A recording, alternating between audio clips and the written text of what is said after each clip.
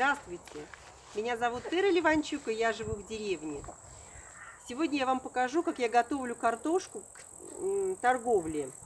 Вот раньше вот э, мы копали картошку, и я вот можно вот такими перчатками чистить. Вот эту вот кожицу тонкую, ее надо счищать. Она, конечно, так более привлекательна. Видно, что она гладенькая, красивая.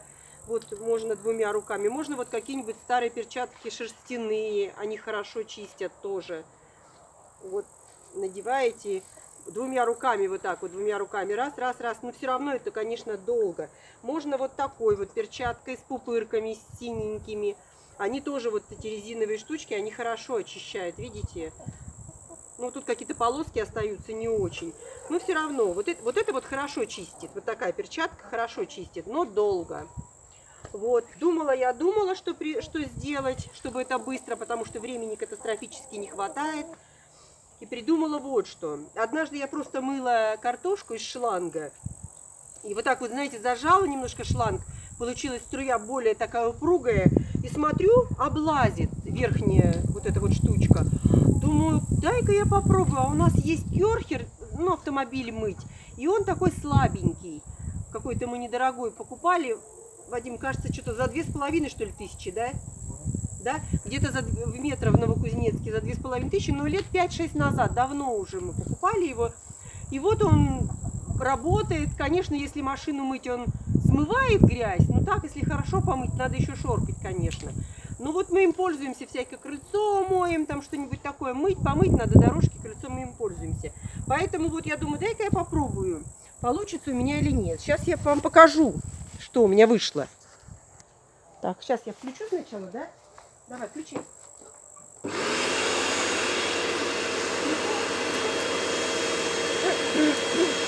Сейчас она наберет. Вот, набрала мощность, смотрите. И вот так вот поближе если делать, смотрите, она как раздевается. Ну, что-то вот не очень-то у нас напор. Вот это не раздевается.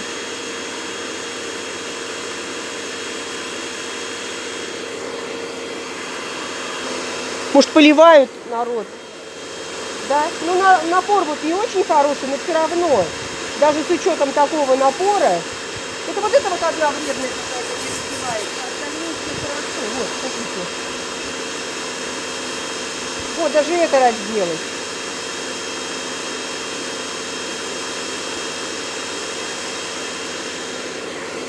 Народ поливает огород, поэтому вот э, напор маленький совсем.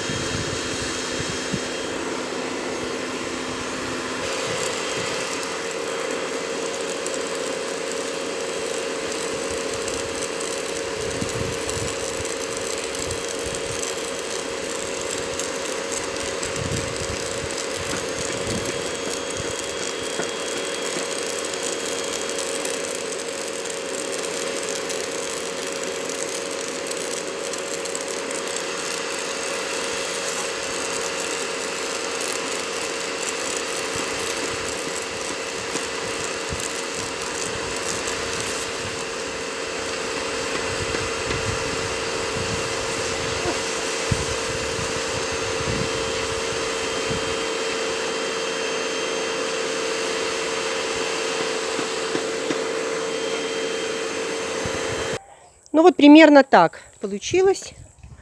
Сегодня, кстати говоря, почему-то вот напор слабый. Ну, поливает народ огород, наверное.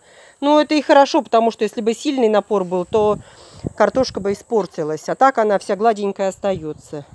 Так, теперь я буду ее фасовать. Так, вот на таких весах я.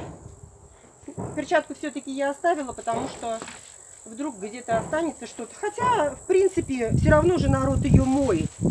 Вот э, они э, купят, конечно, они придут домой, помоют, что-то где-то счистят.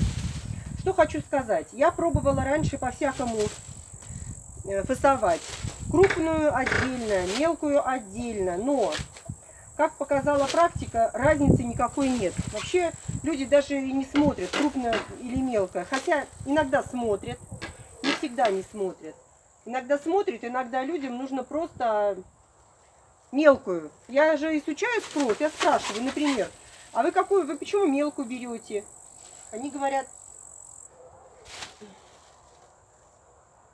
а мы, говорит, ее сварим кругленькую. И на сковородочке с масличком, и будет вкусненько. Вот. Так, дальше что? Ну вот у меня, например, чуть побольше килограмма. Ну вот еще положу одну, чтобы получилось где-нибудь 1 килограмм 100 грамм. Э, это обязательно побольше нужно положить. Это обязательно. Потому что человек придет домой, вдруг он перевесит. Если у него будет чуть-чуть побольше, то он будет доволен. И он скажет э, своим знакомым, скажет, что вот положили, не обманули, побольше, и люди приедут в следующий раз и купят еще. Не у меня, так а у других, потому что я, в принципе, разговариваю уже со всеми, все тоже кладут больше. Поэтому вот это вот очень важно положить побольше. Кило 200 уже так и не обязательно, кило 200. А вот кило 100 это очень хорошо. Вот. Еще положу вот так вот. Вот хорошо, тоже кило 100. Поэтому э, разбирают картошку всю. Обычно картошку в первую очередь разбирают. Сейчас Малина еще подешевле стала. Малину сегодня, наверное, я буду продавать по 150 рублей литр. Но малины у меня накопилось много, потому что я вчера не торговала. Сегодня собрала много. Наверное, не знаю, раз 6, 6-5 контейнеров. Контейнеров 11. Ой, блин, боюсь сказать. Может быть ну, 10, наверное, нету. Вот почищу еще одну. Одна попалась какая-то не очень чистая. Немножко скорлупки тут есть, но ничего страшного. Все равно народ моет. Они же видят, что я помыла на первый раз там. Выглядит она симпатично. Вот. Сбились у меня весы.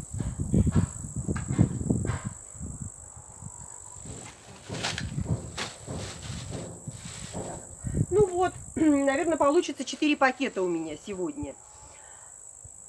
Ну вот и все. Вот так вот я мою картошку. Здесь вот она немножечко еще осталась вот чуть-чуть, видите, недочищенная. Это, в общем, уже легко, она уже почти чищена. Даже голыми руками можно вот так вот почистить ее еще. Хотя лучше бы, конечно, до водички. Ну и вот. Ну и все. Кому понравилось, как я придумала мыть картошку, ставьте лайки, подписывайтесь на мой канал, делитесь с друзьями и заходите почаще в гости. Пока-пока!